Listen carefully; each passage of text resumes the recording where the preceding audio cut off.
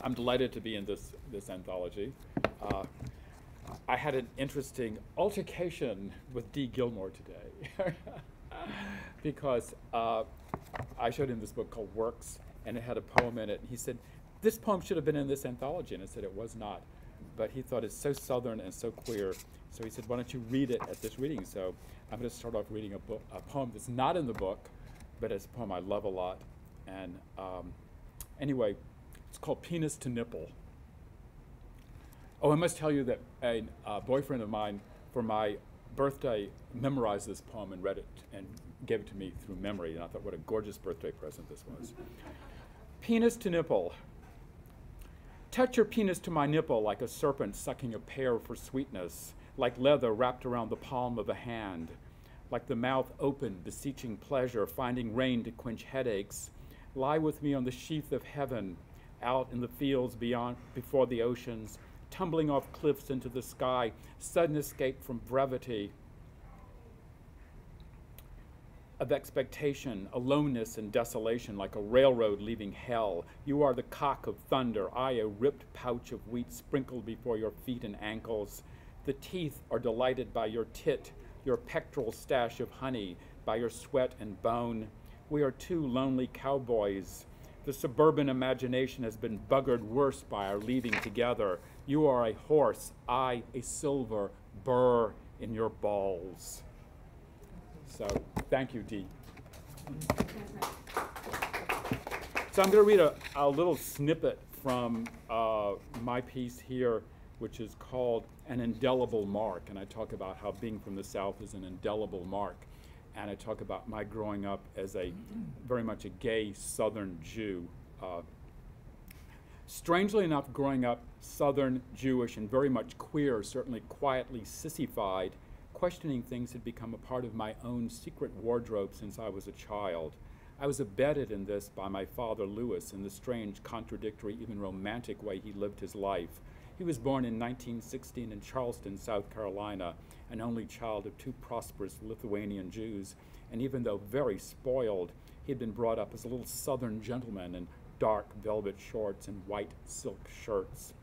Both of my paternal grandparents died before I was five, but Louis liked to talk about them. His mother was a cosmopolitan woman who spoke French, Yiddish, Russian, and of course English. A marvelous cook, she presided over a genteel Jewish home that, in the presence of black servants, mixed kosher laws with southern politeness. My father's nickname was Bebby, Yiddish for baby. He was headstrong, quick tempered, and almost shockingly rebellious. He hated working for other people and loved taking time out to be on his own. He had that distinct presence, masculine, strong smelling, and handsome, that many Southern men of his generation had. I remember his smell camel cigarettes, sharp, salty perspiration, and a dash of the Mennen deodorant just coming in. Like a lot of Jewish men, he went off to fight in World War II. When he came back, I had a feeling he was very changed. He just couldn't be a nice Jewish boy anymore. Energetic, affable, talkative, he brought back with him a lot of Gentile army buddies and regularly went out drinking with them. Although he admired Yiddishkeit, that is Jewish culture, he was crazy about guns, hunting, and fishing, and frequently met with his buddies to kill and eat flesh Jews would object to like squirrel, rabbit, or deer. These ventures horrified my mother. She couldn't understand why Bebby just couldn't be a regular enough Jew, while he told me how important it was to accept people for what they were, but still question their actions if they weren't good. He put this into practice by making me feel always accepted by him, even though we had little in common. I hated killing anything, found fishing boring, and loved art and puppets. Strangely, my mother hated that I loved puppets. She referred to them as Perry's dolls in front of other people, humiliating me. My father, though, who adored fantasy, adventure, and the very southern art of storytelling and uh, the very southern art of storytelling, made me a puppet stage and helped me make hand puppets and marionettes. I was scared of his guns and bloodshed of any sort, but we bonded over this so the most beautiful parts of my childhood were spent working on puppets together. He would say about these times, let's make an adventure out of this, just the two of us. The genuine intimacy of this seemed very southern to me. that it was important to like people genuinely and not simply use them. But if you didn't like them, not to be hypocritical about it.